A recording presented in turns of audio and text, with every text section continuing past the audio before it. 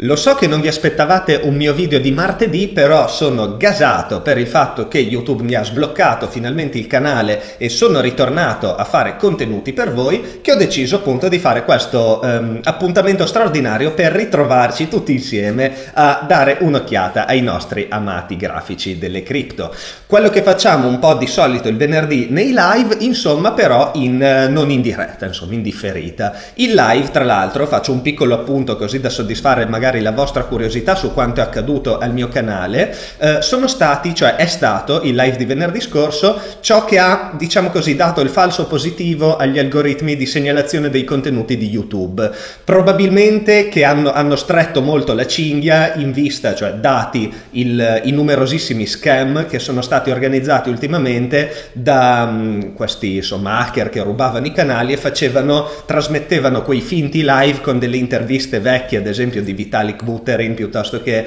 del CEO di Coinbase, a volte c'era addirittura Elon Musk e facevano dei falsi giveaway del tipo manda 0,1 bitcoin te ne rimando 0,2. Ecco, quelle erano delle truffe clamorose e giustamente da un lato YouTube ha cercato un po' di limitarne i danni, però ahimè poi va a finire che vengono colpiti anche i canali innocenti come il mio solo per il fatto che trasmettiamo live magari a tema criptovalute con certe keyword, vacci a vedere. Fatto sta che io ho preso una decisione decisione ed è stata quella di trasferire d'ora in poi i live sulla piattaforma Twitch, che è una piattaforma simile a YouTube, di proprietà di Amazon anziché di Google, dedicata interamente al live streaming. Quindi è fatta molto bene, è molto carina, vi consiglio di iniziare a darci un'occhiata perché i prossimi live saranno trasmessi in diretta per l'appunto lì e non più su YouTube. Su YouTube li riposterò una volta terminati, però l'interazione in diretta sarà esclusivamente su Twitch. Quindi vi incentivo appunto a registrarvi, a darci un'occhiata perché è la cosa a cui tengo di più poi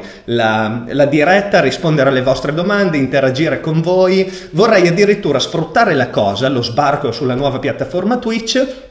per magari dare più enfasi a queste dirette, per stare più dietro alle vostre domande, prima addirittura dei miei monologhi sui grafici e per avere più interazione, perché Twitch lo permette. Ne parleremo meglio nei prossimi giorni e vi spiegherò anche eh, come seguirmi, come trovarmi appunto su Twitch. Nel frattempo vi consiglio di darci un'occhiatina, vi lascio il link giù nella descrizione così che possiate iniziare a esplorarla e perché no farci un account. Buonasera amici cripto investitori e ben ritrovati oggi più che mai, a analizzare tutti insieme i grafici. Siamo tornati in un momento in cui fortunatamente Bitcoin non sta facendo grosse mosse, quindi non ci siamo persi niente in questi giorni. Oggi andiamo a riprendere da dove ci eravamo lasciati, quindi andando a vedere i grafici, a che punto sono, cosa ci comunicano, quali sono gli scenari plausibili e come affrontarli con i nostri amati trades. Vi ricordo che se apprezzate sempre i miei video e i miei contenuti e se siete contenti che sia tornato, per favore lasciate lasciatemi un like anche a questo video che mi gasate. Già sono gasato oggi, ma mi gasate ancora di più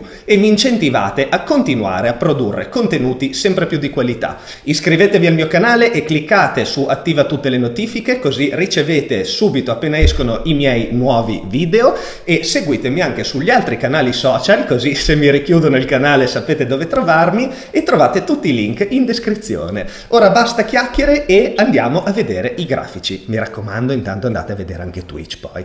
Grafici. Definire Bitcoin indeciso è quantomeno un eufemismo. Andiamo a inquadrare un po' la situazione, cerchiamo di capire quali sono gli scenari possibili e i livelli e i movimenti che li determinerebbero. Abbiamo, allora, partiamo dall'alto, quindi da un time frame magari un po' più ampio come può essere il settimanale, giusto per avere il quadro completo e poi andare a vedere il dettaglio. Nel settimanale, adesso non considerate tutte queste righe che alla fine sono tutti supporti importanti appunto tracciati su time frame settimanale, che è il time frame sul quale io tendo a tracciare i supporti in quanto si rivelano poi essere quelli più significativi in assoluto sul settimanale. È una giusta via di mezzo tra high time frame e low time frame, è un po' il, um, ciò che dà l'idea sulla direzione del mercato nel medio periodo. Qui siamo in palese bear market, vedete abbiamo dei lower highs e lower lows in continuazione e l'ultimo lower low è stato quello di poche settimane fa in corrispondenza insomma al mega dump che ha coinvolto tutti i mercati all'inizio di marzo marzo c'è stata quella famosa corsa alla liquidità, ok? Quando sia il mercato azionario, sia il mercato addirittura delle commodity, oro compreso, sia ovviamente il mercato cripto, sono andati sgonfiandosi ehm, in quanto appunto la gente correva la liquidità, vendeva qualsiasi tipologia di asset.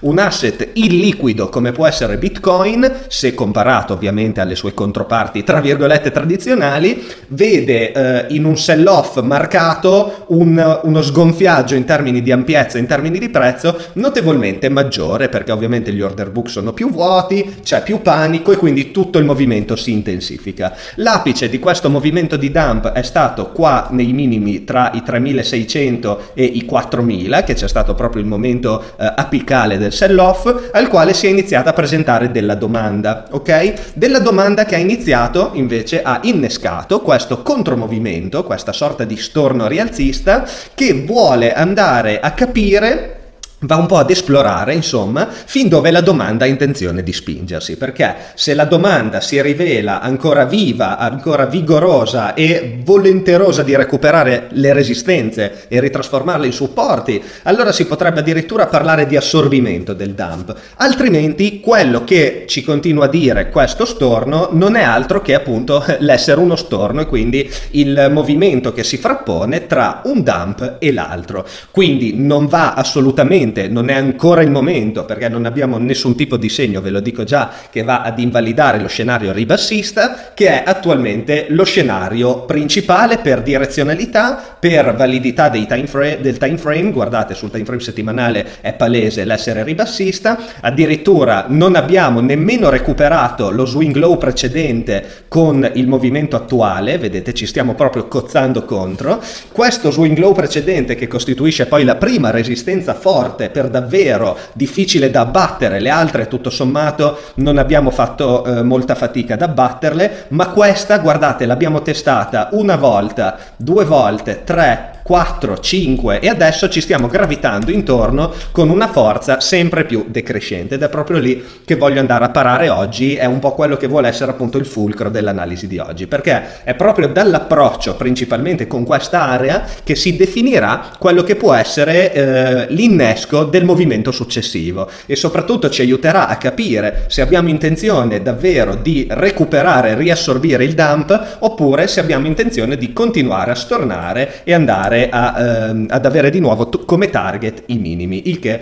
posticiperebbe ulteriormente e notevolmente qualsiasi scenario bullish alla facciaccia, cioè scenario bullish di cui non c'è nemmeno l'ombra, eh, però se andiamo a fare addirittura un altro dump se ne parla veramente dopo tanto tanto tempo alla facciaccia dell'halving, ok? Quindi l'obiettivo di oggi è proprio cercare di razionalizzare la situazione e capire come muoversi in base a quello che il grafico ci sta dicendo. Per adesso il grafico ci sta comunicando tanta tanta debolezza perché abbiamo capito che stiamo approcciando dalla direzione inversa il vecchio swing low che al momento quindi è una resistenza molto forte e nel caso in cui lo dovessimo recuperare, qui siamo ancora al time frame settimanale visto che è il time frame di riferimento per capire un po' il trend in corso, un po' più dall'alto che nei movimenti di breve, um, Andare a recuperare questo swing low andrebbe ad identificare quel setup che si chiama low reclaim, il recupero di un vecchio low banalmente, non è niente di particolare, però è quel primo sintomo che la domanda c'è, ok? E che è ancora più forte dell'offerta, perché se l'offerta è schiacciante e continua a opprimere la domanda, non gli lascia di solito recuperare il precedente swing low. Vedere uno swing low recuperato, soprattutto se con forza, perché tra l'altro se vogliamo anche... Um, qualche segno in più di cui tra poco magari andiamo a discutere meglio. Questo swing low vede come zona di, di bottom per l'appunto locale ovviamente di questo ciclo un range, un range della durata di 1, 2, 3, 4, 5, 6 settimane più la settimana di ingresso e di uscita nel range, quindi capite che è un range abbastanza significativo. Questo rende non soltanto il low a 6900 circa significativo, ma anche tutto questo range, lo rende estremamente significativo. Perché? Perché in questo range immaginatevi di essere um, l'offerta, quindi impersonificatevi nell'offerta, nei venditori, nei sellers, nei bears, chiamiamoli come vogliamo. E um, vogli- cosa vogliamo fare in corrispondenza di questa area che è stata un livello di accumulazione, o meglio di distribuzione, volendo uh, parlare in termini ribassisti, um, in passato? Vogliamo difenderla e quindi non vogliamo che il prezzo la recuperi. Perché? Perché se il prezzo la recuperasse sarebbe un segno estremamente forte di predominanza della domanda. Già il recupero dei 6.009 sarebbe un segno che la domanda c'è, ok? Quindi come per dire ma questa resistenza l'ho battuta, ci sono, ce la facciamo, spingiamo ancora. Se recuperiamo addirittura tutto quanto il range, vuol dire che riusciamo ad assorbire tutta la liquidità in distribuzione che c'è stata in questa zona, ok? Quindi andando a um, spostare lo scenario paradossalmente eh, verso il bullish, quantomeno sul breve, dando qualche speranza. Inoltre in questa area, superato questo range, abbiamo anche la zona degli 8000 che è estremamente importante su time frame giornaliero, come andremo a vedere tra poco, e quindi abbiamo tutta una confluenza di fattori che potrebbe innescare una reazione a catena molto bella per i bulls. Quindi niente, abbiamo capito la situazione, abbiamo fatto anche qualche sogno da, da permabull, però non facciamoci prendere troppo dalla fantasia, perché al momento siamo ancora in questa situazione con oppressione da parte dell'offerta, vedete che non ha intenzione di lasciar passare per ora, ogni tentativo d'attacco è stato assorbito e non c'è verso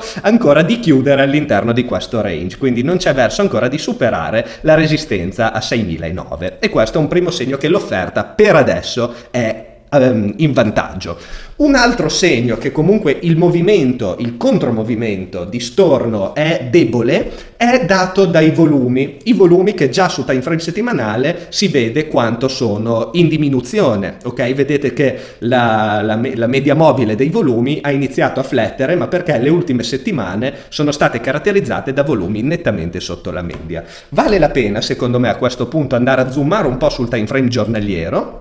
per cercare di capire meglio qual è il quadro. Allora, guardate, allora partiamo da dove, era, da dove eravamo rimasti perché um, abbiamo detto degli 8000, abbiamo solo buttato lì e quindi andiamo a chiudere questo discorso qua. Gli 8000 su time frame giornaliero sono un livello molto importante perché costituiscono un'area di distribuzione nata da queste candeline qui, che interpo- si interpone tra il primo impulso ribassista e l'impulso eh, di capitolazione, chiamiamolo così, che ha fatto toccare il bottom. Quindi riuscire a recuperare gli 8000, un reclaim confermato intendo, quindi immaginatevi la rottura e il retest, quantomeno, e la nascita di domanda sul retest, che è il segno più importante, cosa andrebbe a indicare? Andrebbe a indicare che questo dump è stato assorbito ed è un segnale clamorosamente bullish sul breve quantomeno, dà spinta, perché? Perché comunque questo che è l'impulso di capitolazione, è stato il sell-off più forte in assoluto, è stato completamente recuperato e non si è palesata domanda in difesa degli 8000, cioè il test degli 8000 e un ulteriore dump. Questa è offerta, scusate ho sbagliato, ho detto domanda,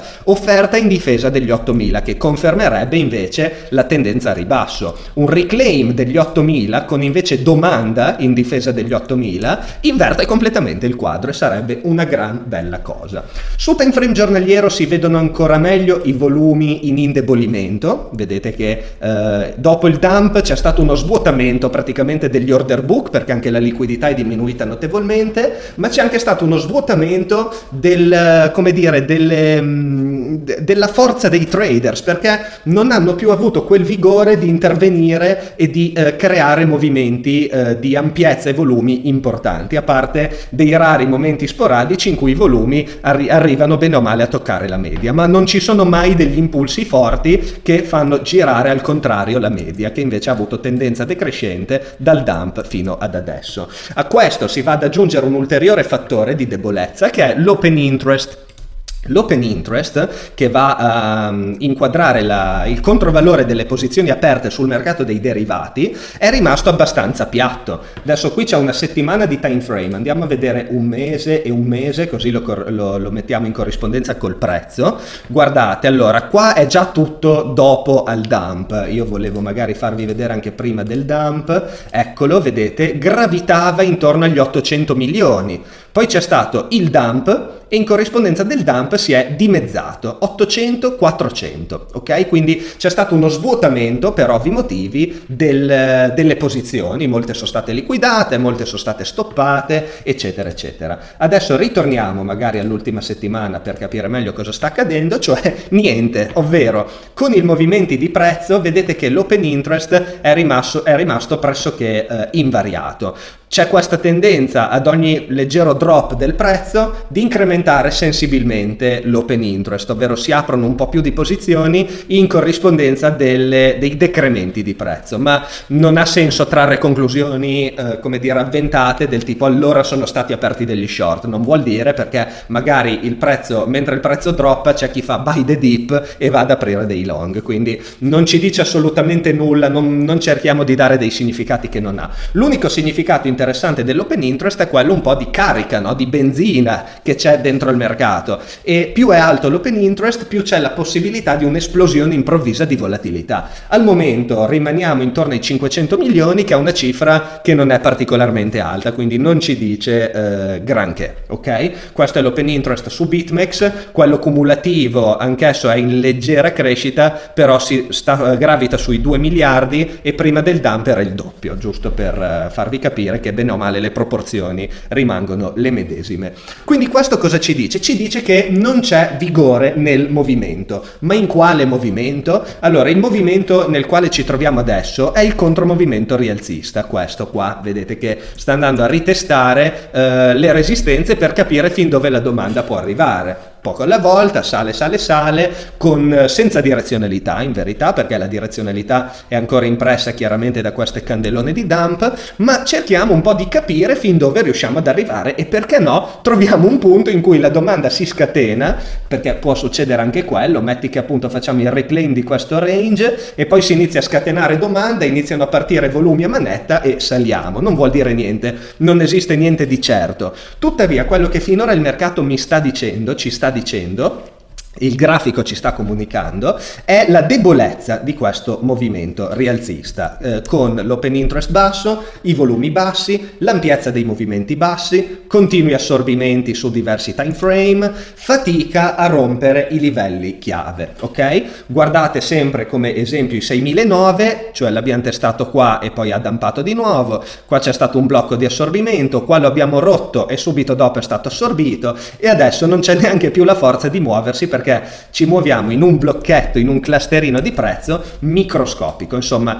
i 6009 più che un livello di resistenza stanno diventando un livello eh, di attrazione per il prezzo. Tuttavia, al momento, vedete, abbiamo questa formazione che eh, spinge, cioè come dire, eh, trasmette rigetto da parte del prezzo stesso. Abbiamo avuto un tentativo di rialzo, una rottura, poi qualche giorno di lateralizzazione e dopodiché vedete un, eh, una perdita del livello stesso. Questo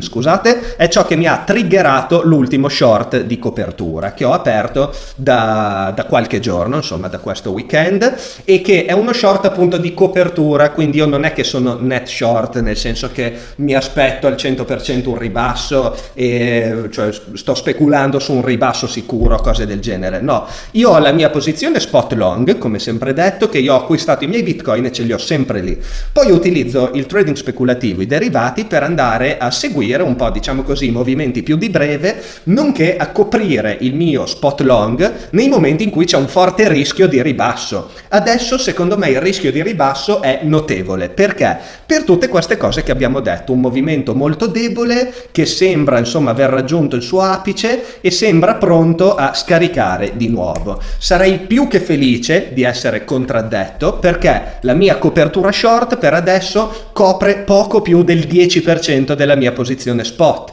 il che significa che se Bitcoin scende di prezzo, ok, io comunque in netto vado a perdere perché lo short si guadagna, però il mio spot che è molto più grosso dello short va a perdere e viceversa se Bitcoin sale di prezzo io vado a guadagnare nettamente, mi scende di valore lo short, mi perde di valore lo short, ma lo spot aumenta. Quindi questa è una piccola assicurazione ancora prematura perché come vi ho detto si basa su un vabbè, si basa su dati comunque abbastanza considerevoli consistenti perché abbiamo direzionalità ribassista, abbiamo questo pattern di potenziale top volendo anche se estremamente prematuro, abbiamo l'offerta che finora continua ad assorbire ogni tentativo, ma Comunque non è ancora detto perché non abbiamo perso dei low, non abbiamo avuto dei breakdown notevoli, sul settimanale ci sono ancora soltanto candele verdi, insomma è una situazione un po' borderline. Per come la vedo io, per l'interpretazione che vi ho spiegato prima, la vedo come un indebolimento dello storno che ha un contromovimento dopo il dump e quindi come eh, con maggior potenzialità di continuazione ribassista. E da lì poi dovremo andare a vedere se andiamo di nuovo a testare i minimi, cosa facciamo, se facciamo un higher low, se facciamo un doppio minimo, se addirittura perdiamo i minimi, ma lì è ancora eh, il futuro, quindi è ancora presto per dirlo. Però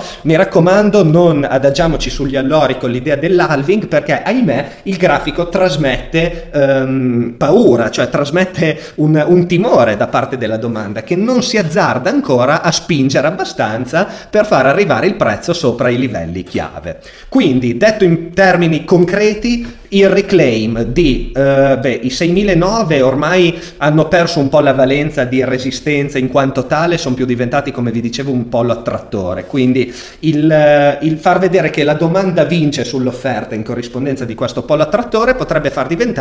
farlo diventare un, um, un, repulsore perché c'è quella doppia valenza no, delle, dei livelli chiave che si trova all'inizio una fase di attrazione che dura un po', poi inizia la fase di repulsione da una parte o dall'altra che è tanto più violenta quanto più è durata la fase attrattiva di solito. Ora non è ancora diventato un point of control mi pare, ma poco ci manca perché di volumi se ne stanno generando parecchi, ci sarà da vedere se alla fine vincono i buyers o i sellers e quindi se diventerà un livello di distribuzione oppure accumulazione. Nel caso in cui dovessimo avere una chiara perdita di questo blocco, oserei dire, quest'area, guardate che è l'area in, co- in corrispondenza della quale si trovano la maggioranza dei volumi a ribasso, Ok? Allora è una prima conferma della, della, visione ribassista. Una seconda conferma ancora più forte sarebbe la perdita del primo supporto sottostante, i 6100. E in particolare il fatto che in questo pool di liquidità, che in passato ha sempre scatenato domanda, non ne vediamo più, ok? Non c'è più domanda, quindi non c'è più nessuno che compra questa flessione, nessun buy the dip. Quello è un bruttissimo segno.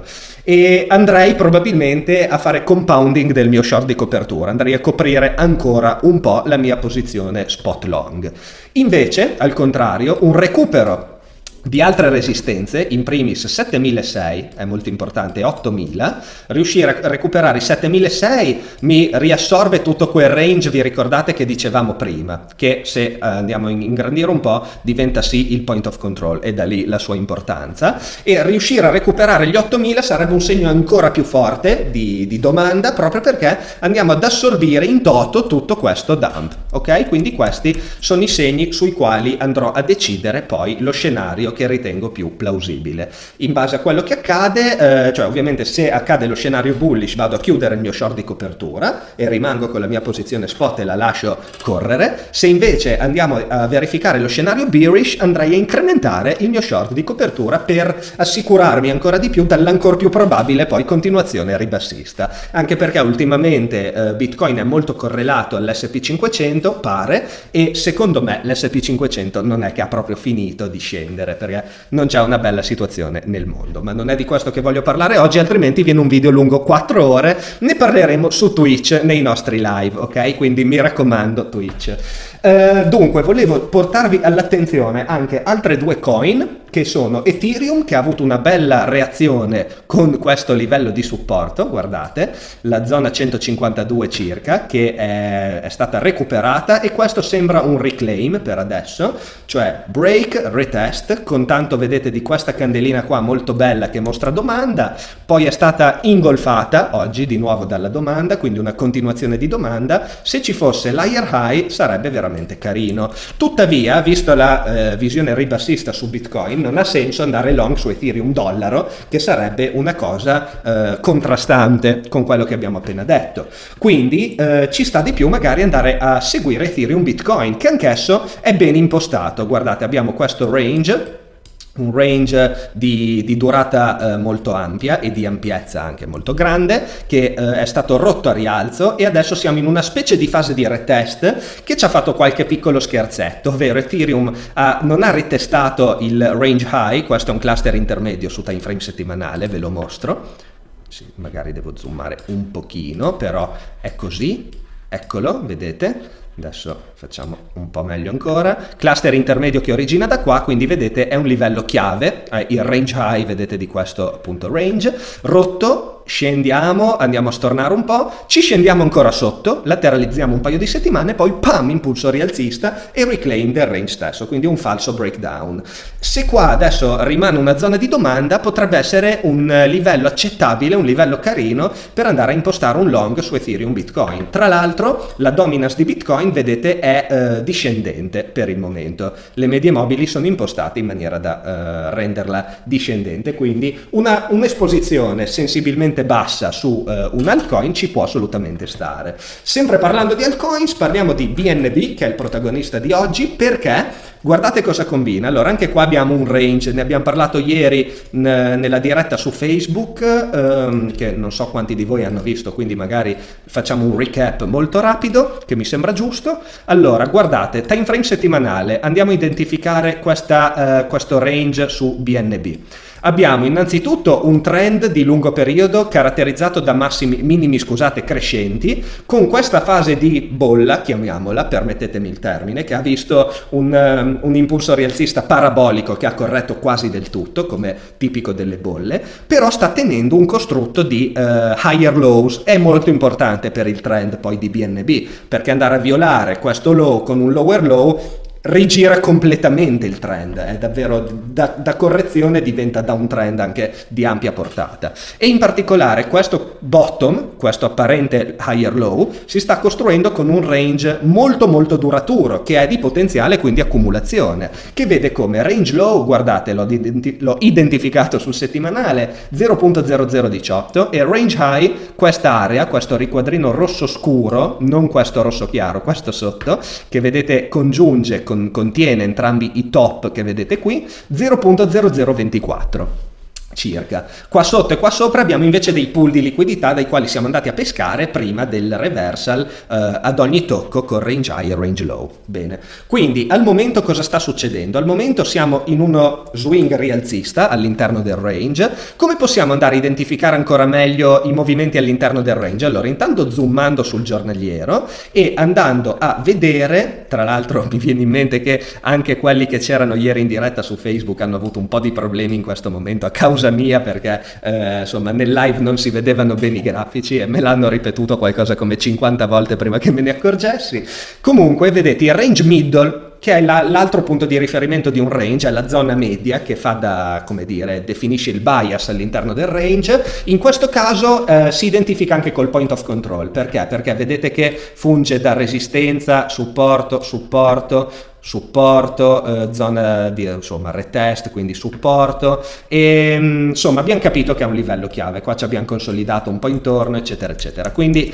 questo è il livello che per me all'interno del range definisce un po' il bias, lo abbiamo rotto a rialzo, abbiamo questo costrutto di bottom all'interno del range, una sorta di testa e spalle rovesciato, se vogliamo vederlo ovunque, breakout, retest, altro impulso rialzista ma con forza, tra l'altro cosa ci combina Binance oggi? Allora ha pubblicato su Twitter questa questo clip, questa immagine, insomma quello che l'è, che eh, è un po' criptica e molti vedono come un potenziale aggiornamento della piattaforma alla versione 3.0, insomma c'è molta speculazione dietro e inoltre dopo secoli il buon vecchio CZ ha, fatto, ha piazzato un nuovo, um, una nuova launchpad, quindi una nuova IO e questo di solito è bullish sul breve su BNB, ok? Quindi eh, ha fatto parlare un po' di sé, c'è un po' di bullishness per l'appunto, quindi è interessante interessante seguirlo. Potrebbe essere un'interessante fase accumulativa da eh, giocarsi all'interno del range, sempre per esporsi un po' su altcoins, con entry che potrebbero essere uno qua, in questa zona, 0.0021,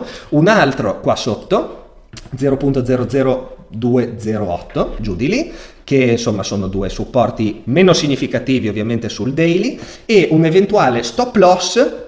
alla perdita del range middle, che eccolo, è qua, quindi lo stop loss potrebbe essere alla perdita confermata, quindi sotto al range middle con chiusure di più di una candela giornaliera, o per chi proprio vuole straccumulare BNB, andare a prendere l'intero range come potenziale bottom, ok, vista la bullishness arrivata, e andare ad accumulare sul prossimo ritracciamento che ci sarà eh, dopo questo impulso rialzista e mettere lo stop loss addirittura sotto i minimi in modo proprio da essere mega tranquilli e questo con un'ottica ovviamente più di lungo periodo perché va già um, a considerare questo, questo, qui come bottom, quindi la, l'invalidazione ovviamente se questo non è il bottom, quindi nuovi minimi, e eh, appunto da, da holdare per più e più tempo, ok? Che ci può stare perché comunque BNB è sempre un'ottima coin. Basta, direi che questo può bastare. Se avete qualcosa da aggiungere, da chiedere, eccetera, eccetera, mi raccomando, scrivetevi un bel, scrivetevi, scrivetemi un bel commento anche solo per dirmi ben ritornato, ben ritrovato, che mi gasa, insomma, in questa situazione ci vuole. E vi ricordo di nuovo che i live, questo video, insomma, è un po' quello che sostituisce il live del venerdì, perché d'ora in poi i live, adesso non so se già questo venerdì o partiamo dal prossimo, li sposterò posterò su Twitch, la piattaforma dedicata soltanto ai live streaming, è una sorta di YouTube ma dedicato ai live streaming, soprattutto al gaming, ma ho visto che c'è anche qualcosa di cripto, ma voglio provare a fare questa mossa pionieristica, quindi vi chiedo come community di provare a dare un'occhiata a Twitch, di dirmi cosa ne pensate di Twitch, mi raccomando, ditemelo, datemi un feedback se secondo voi sto facendo una cagata o no. In ogni caso i miei contenuti non ve li perderete perché anche se farò i live su Twitch poi li riposterò su YouTube. Tuttavia io tengo tantissimo all'interazione in diretta con voi, quindi vi prego dateci un'occhiata a Twitch e spero di trovare più persone possibili della community che abbiano voglia di buttarsi in questa nuova piattaforma e di tornare live tutti insieme alla facciaccia degli algoritmi del tubo. Ragazzi vi auguro una buona serata e alla prossima.